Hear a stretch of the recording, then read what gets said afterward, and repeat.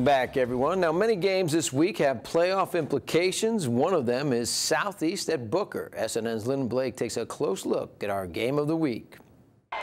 Booker's 28 21 loss to Southeast in 2016 is a game Dumaka Atkins is ready to forget. Last year was uh, was rough. Uh, we wanted a, a different ending, plot twist. New year, same story. Playoffs are on the line.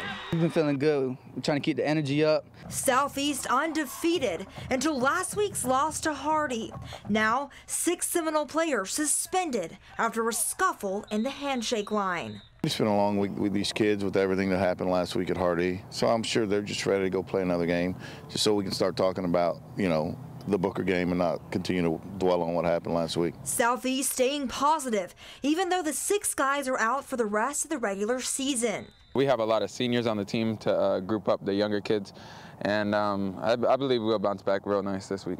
The Tornadoes have touched down in their district, winning three straight after moving to Lee Keaton back to receiver. When I was at quarterback at the beginning of the season, it wasn't going too well, so we just put Jermaine so he can get the ball to me, and he runs he runs the offense better than me anyways. We're all coming together, you know, everybody's starting to execute the right way.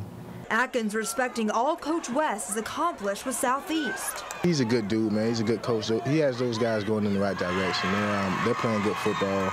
They just uh, slipped up against Hardee last week. When it's all said and done, it's a district rivalry. Both teams will play four quarters of hard-nosed football with postseason dreams in reach. It is us, and we, we've always had like a little rivalry with them. But uh, our offense, I feel like we're going to put up some points, and our defense is always nice. Homecoming game, and yeah, it's our this determines playoffs or not. So yeah, it's a big game for us. Reporting for our game of the week, I'm Lyndon Blake.